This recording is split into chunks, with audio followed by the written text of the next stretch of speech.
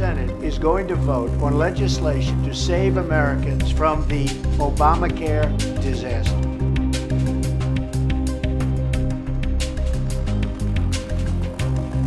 Obamacare has wreaked havoc on American lives, and if we don't replace it, the calamity will only get worse. And I mean get worse by a lot.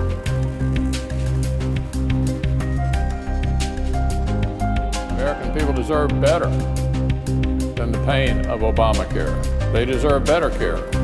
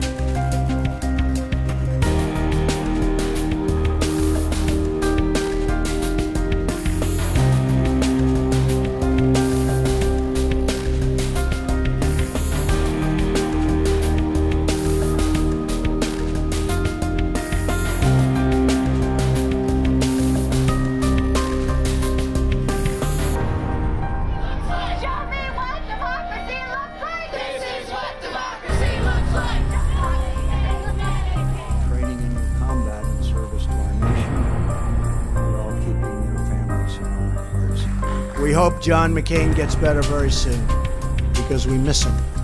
He's a crusty voice in Washington. Plus, we need his vote.